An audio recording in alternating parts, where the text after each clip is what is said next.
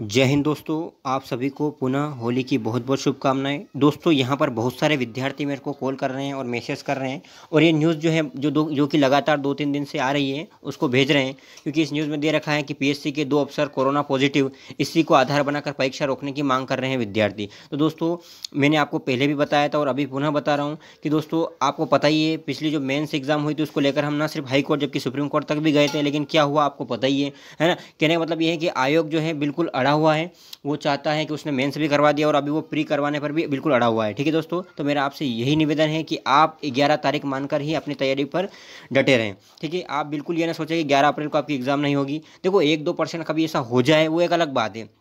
कभी जो है यहाँ पर सरकार ऐसा कुछ डिसीज़न ले लें, कहीं कोरोना अगर ज़्यादा बढ़ जाए तो ऐसा डिसीज़न ले लें, या आयोग ऐसा डिसीज़न ले ले तो वो एक अलग बात है। लेकिन फिर भी दोस्तों, यहाँ पर मैं बता रहा हूँ आपको कि ज़्यादा से ज़्यादा संभावना यही है और आप भी यही सोचकर अपनी तैयारी करें कि ग्यारह अप्रैल को ही आपकी जो है एग्ज़ाम होने वाली है।